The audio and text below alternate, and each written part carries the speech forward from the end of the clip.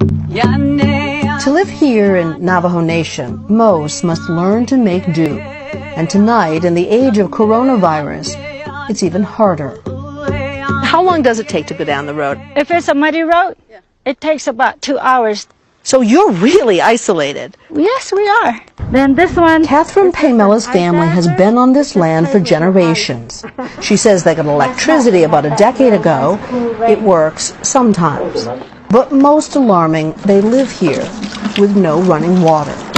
I think we're abandoned pretty much. At least 30% of the homes on the reservation have no running water.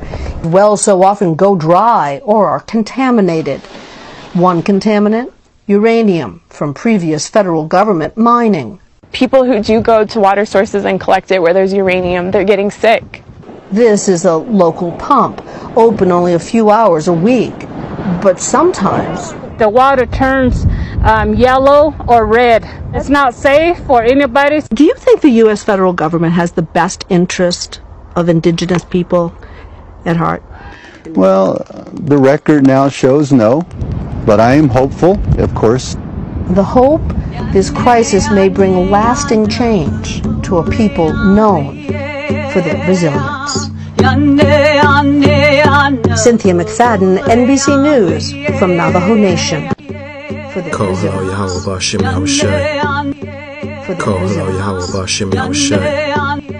For their resilience.